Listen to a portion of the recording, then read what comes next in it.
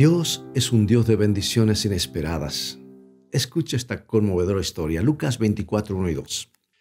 El primer día de la semana, muy de mañana, vinieron al sepulcro trayendo las especias aromáticas que habían preparado y algunas otras mujeres con ellas, y hallaron removida la piedra del sepulcro. Todo comenzó como cualquier otro día. El sol estaba por salir.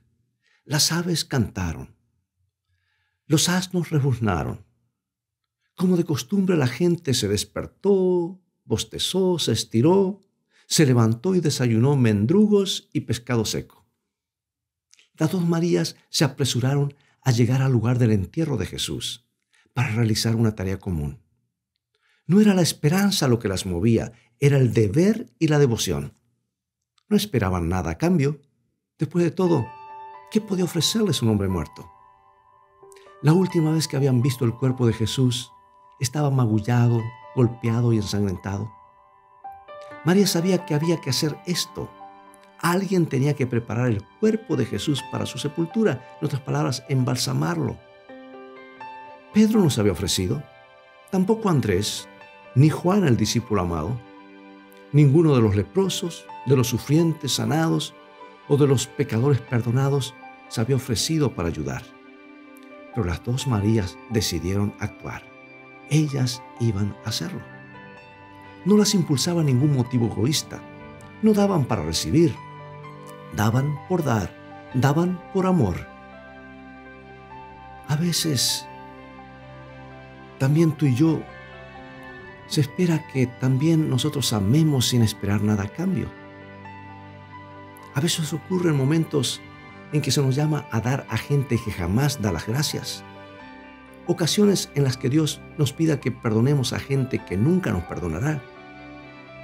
A veces se nos llama a llegar temprano e irnos tarde, sin que nadie lo note. Y hay momentos cuando hacemos lo que hay que hacer solo porque hay que hacerlo. Dios vio sus lágrimas aquella mañana.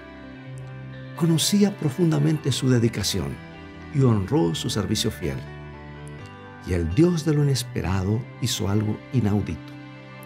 En el curso de un día ordinario, las dos Marías vinieron y vieron algo extraordinario al lado de la tumba, al Señor mismo resucitado. Sus corazones se llenaron de gozo.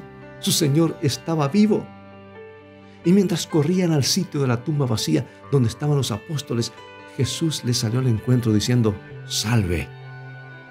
Y ellas acercándose abrazaron sus pies y le adoraron. Ahora detente por un momento y capta la fuerza, el poder de esta idea. En el celo ordinario de la rutina diaria, aquí hay dos mujeres que se encuentran cara a cara con el Señor vivo. ¡Qué Dios de bendiciones inesperadas! tú y yo también podemos encontrarlo hoy en las actividades propias de nuestras respectivas rutinas mientras cumplimos nuestros deberes diarios.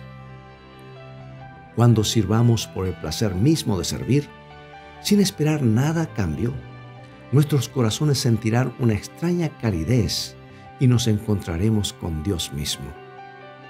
Hoy llegará con sus bendiciones inesperadas, porque el Señor vive y está con las manos abiertas, listo para bendecirnos y concedernos una mejor manera de vivir.